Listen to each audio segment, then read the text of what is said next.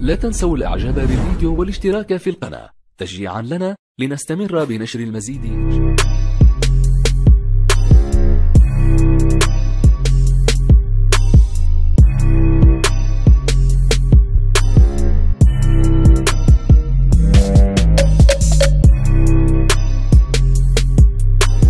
إذا مصير الدستور الآن معلق بالجزائريين.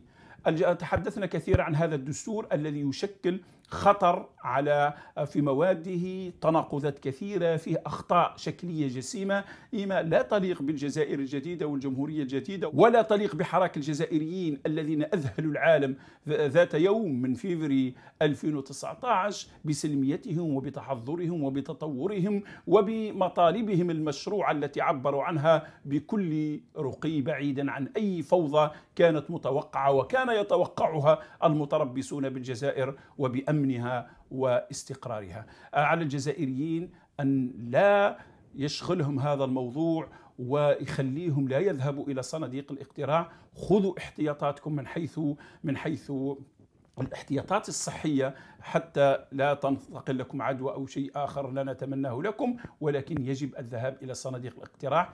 إسقاط هذا الدستور بأي وسيلة كانت ننتظر وبعدها ننتظر بإذن الله تعالى ما سيؤول إليه حال الرئيس. إن شوفي وهذا الذي نتمناه. ستتخذ قرارات أخرى. تبدأ بحل المؤسسات الدستورية هذه القائمة حل البرلمان وما إلى ذلك. ثم بعد ذلك تأتي خطوة أخرى على طريقة أخرى ناجعة ونافعة وناصعة لإعداد دستور يليق بالجزائر والجزائريين. أما إذا كان بقي الوضع الرئيس على ما هو عليه يجب أن الجزائر تستمر آه، وتكون أولويتها ليس الدستور ولا أي شيء آخر تكون أولويتها مواجهة هذا الوباء آه، الذي سوف يكون بلا أدنى شك سينتشر إذا كان وصل إلى رئيس الجمهورية. كيف حال الجزائريين في الجزائر العميقة؟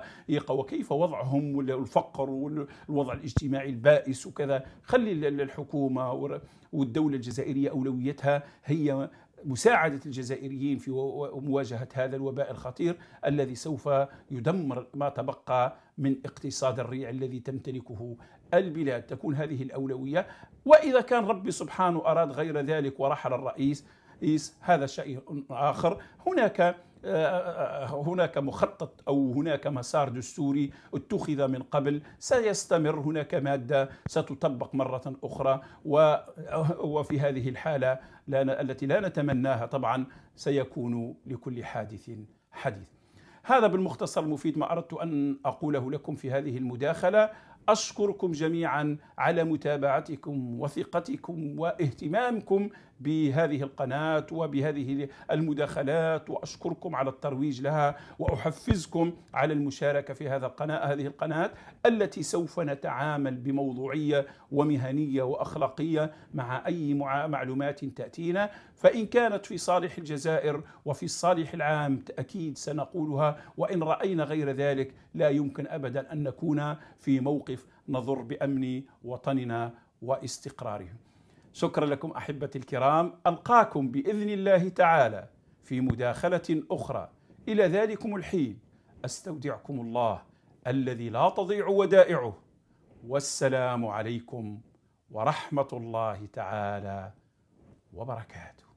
لا تنسوا الإعجاب بالفيديو والاشتراك في القناة. تشجيعا لنا لنستمر بنشر المزيد إن شاء الله.